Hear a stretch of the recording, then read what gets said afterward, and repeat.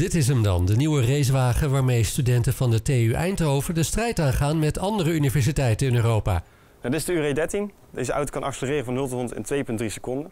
Het spiksplinternieuwe racemonster waar het team dit jaar mee de baan op gaat is volledig elektrisch. Ieder jaar komen ze met een nieuw exemplaar en dit is al de dertiende in de 15 jaar dat het team bestaat. 28 augustus zijn we teruggekomen vanuit Spanje. Toen zijn we weer in het kantoor beland en zijn we begonnen en hebben we er een precies een, eh, ja, ja, doen er een jaar over met de evenementen meegenomen.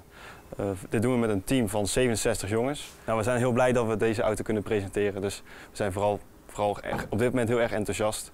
Een opluchting zou ik het niet noemen. Het is meer een, eh, een ja, gelukmakend iets. Ja. Deze auto race vanaf juli over de grote parcours in Europa tijdens de Formule Student. Dat is een competitie voor elektrische raceauto's die zijn ontwikkeld door studenten. Er wordt gereden op onder meer de circuits van Assen en de Hockenheimring in Duitsland. Aan die wedstrijden doen honderden teams mee. Wij verwachten zeker wel dat we uh, ja, goed zullen gaan presteren dit jaar en we gaan zeker voor de eerste plek. Dat is voor ons een realistisch doel, want we zijn met een groep van 67 jongens. Uh, we zijn een groot team, we hebben veel faciliteiten. We zitten hier in Eindhoven, veel industrie. In samenwerking met de industrie kunnen we dat ook gewoon waar, waarmaken. En dat moet gaan gebeuren met deze auto die de studenten vanaf de tekentafel hebben opgebouwd. Uh, wat je ziet is dat eigenlijk alles zelf ontwikkeld is. Waarbij de riemen, uh, de velgarten en de harde van de computer niet zelf ontwikkeld is. Uh, de banden zijn zelf ontwikkeld in samenwerking met Apollo Vredestein. En daarbij zit op elke band een motor, waardoor we elke motor apart kunnen aansturen. Waardoor je uiteindelijk dus makkelijker door je bochten heen kan gaan. verder hebben we dit stuurtje. Is het de interface of het gezicht voor de drijver. Die kan precies uitlezen wat uh, ja, de toestand is van de auto. En dan kan hij doorcommuniceren naar het testteam of de pitcrew. En daarmee kunnen dan weer andere aanpassingen gemaakt worden.